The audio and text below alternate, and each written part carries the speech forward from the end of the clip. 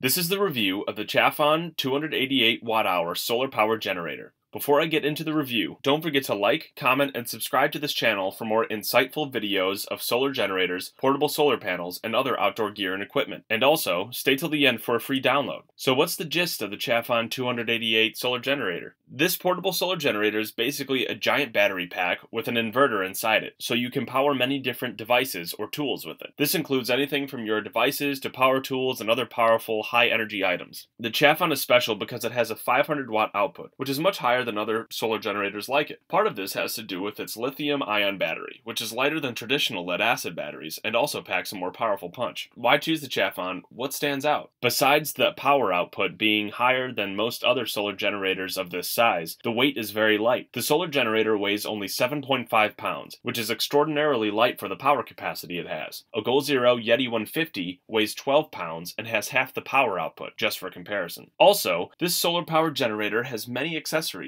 making it versatile. The kit includes a jump starter cable for your car, so you don't have to buy them separately, and the cables even connect to an exclusive port in the battery specifically for the jumper cables. This is not common with other solar generators. The only other one that I know of that comes with jumper cables is the Suaoki 400 watt hour solar generator. I have a separate video of that generator as well. The portable solar generator also comes with a USB connector that has multiple connection points. The USB cable connects to a lightning cable, a mini USB, micro USB, and USB-C cables. That is not all. Also included are the standard wall charger and car charger to charge up the Chafon. But what is not so common is the MC4 connector that connects to many different types of solar panels. This is fantastic because this cable alone is about $15 on Amazon, and this saves you the hassle of getting this cable separately if you choose to charge it with a solar panel. How much is it? This solar generator runs for $299 on Amazon. This is not too pricey for the power output, and for what you get, this is a valuable item for many different circumstances, such as camping, fishing, home backup, and many other scenarios where you may need off-grid power. Here are some frequently asked questions. How much power is in this generator? There are 500 watts of output and 1000 watts of peak power, so you can run energy intensive items. It also has 288 watt hours of energy, and it also is pure sine wave. What can I do with it, and what is it ideal for? This solar generator, as mentioned before, is great for charging devices on a camping trip, for fishing trips, road trips, off-grid living, RVing, home backup, and much more. What are the connectors? There are three AC adapters at 110 volts, four USB connections, four DC ports, and a solar panel connection port as well. Conclusion Is it worth the price? In my opinion, yes. This generator packs a punch and has a large power output. You can power many different electronics with it that are usually not associated with solar power generators. This is definitely a crucial tool to have with you on your next excursion. Find the Chafon 288 watt hour solar generator in the description below on Amazon. Thanks for watching and check out my website for more articles and reviews of some leading edge gear and equipment. Also, if you're looking into camping equipment, I've compiled a PDF list of the top 30 items to have during a camping trip. Click below to get your copy.